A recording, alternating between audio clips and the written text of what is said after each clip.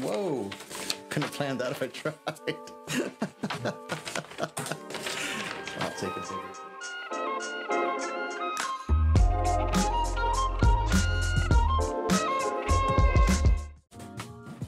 I tend to work pretty quick. I don't, uh, especially with gesture drawings, I don't put a lot of a lot of time into making things super accurate. It's just more about the feeling and the the vibe that comes from it, which is pretty fun.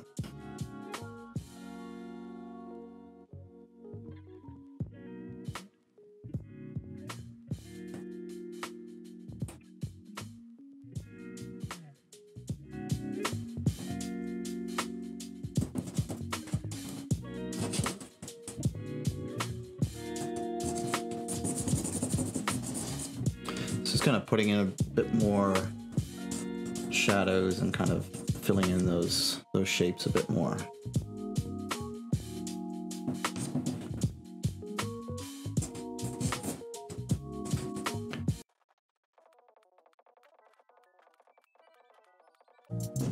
All right, I'll give you a bit of a comparison shot there. Just kind of really wanted to, as I mentioned, lay out the anchor points, which for me are generally the head, the shoulders, and the hips. Um, legs here are pretty fun because they're just so ridiculously long. uh, and I kind of wish I had a bit more, uh, left a bit more highlight for the jewelry. Um, but again, I think it's pretty, pretty fun and definitely check out Pasha Pasha underscore New York. It's, uh, it's a beautiful Instagram feed and uh, and the, the artwork there is phenomenal. It's really really cool. Laying out a piece uh, using kind of diluted acrylic. So it'll be a similar technique to to watercolor but uh, it won't actually be watercolor uh, but I'll use ink and whatnot to bring out the uh, the highlights and the details later on once things kind of dry out. So I'm just gonna grab my board and get started with that. So for this one this is uh, Arches um, paper so it's really built and designed for this type of artwork. I'm just going to use a 6B pencil just to kind of sketch in and kind of lay out where I want things to go. I did a sketch um, a while back. I'm not sure if this is going to translate well, but kind of the layout and where I kind of wanted things to go.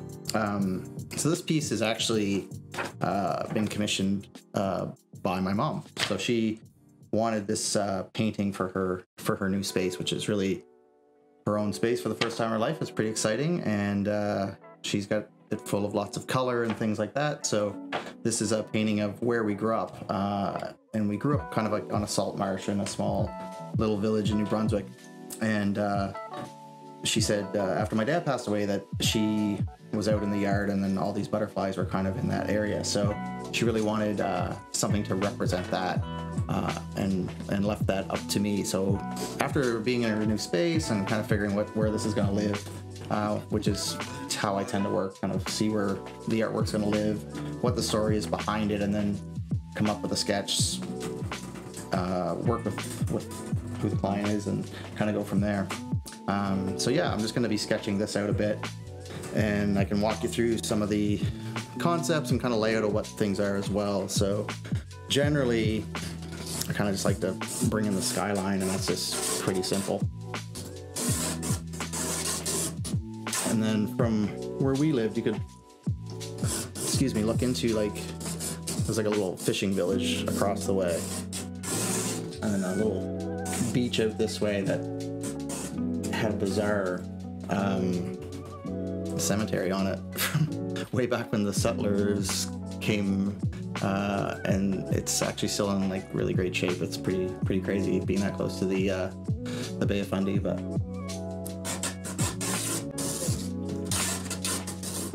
so I used to play in these in the salt marsh a lot uh, but always fair warned of like uh, don't get your rubber boots stuck or you might not come back out.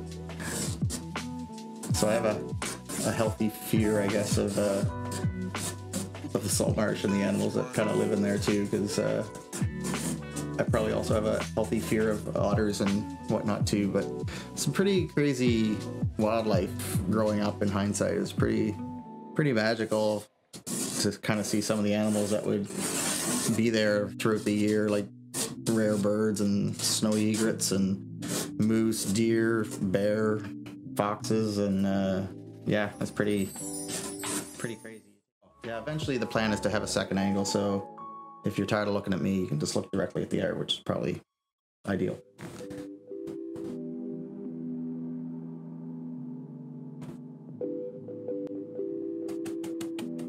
This is a pretty potent blue.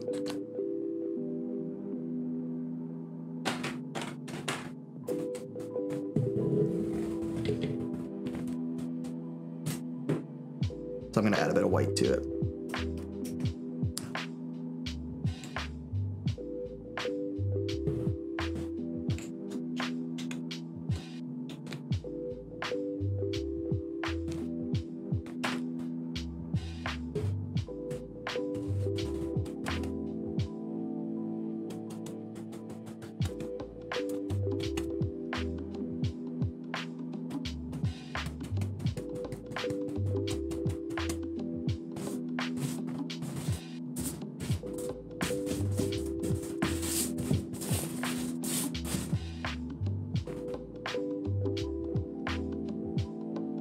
So I want this pretty wet, uh, just so it'll thin out nicely.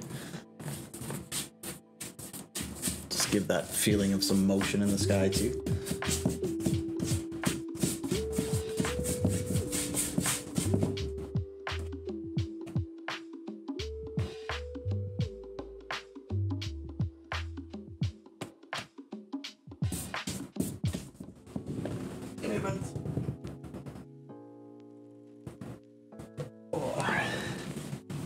This is the best I can do right now, Andrew. This is Stanley. I'm gonna say hi, Stan.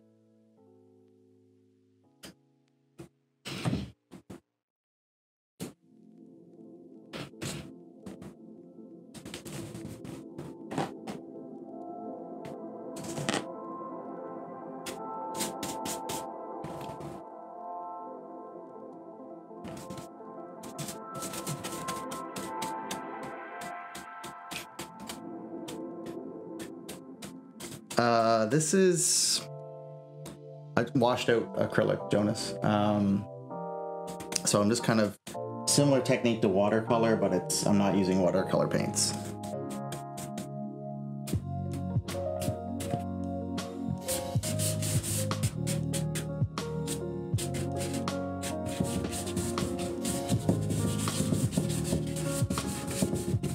I'm just trying to go really like loose and free and just kind of like make all this grass look like it's moving and alive.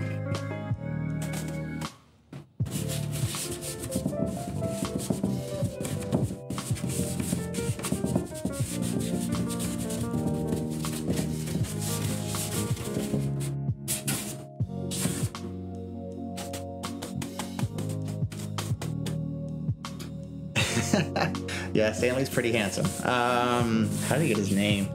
He had a few names. Uh, gosh, I can't remember the first one they had. Uh, and then it just just seemed to fit. Um, yeah, he's just uh, a regal little gray lion.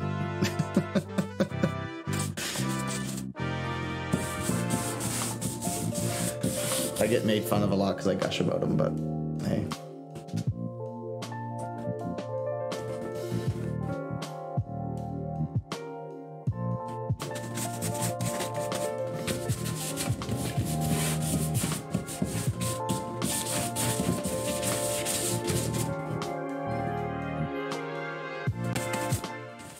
So at this stage, I'm kind of done blocking in my colors and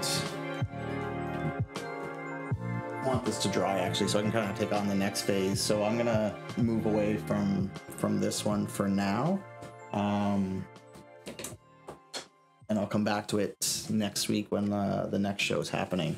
But I'm gonna work on another piece that is acrylic based um, and kind of just show how I like to do portraits. It's kind of a new well, new to me. It's not a super new style, but it's one I quite like.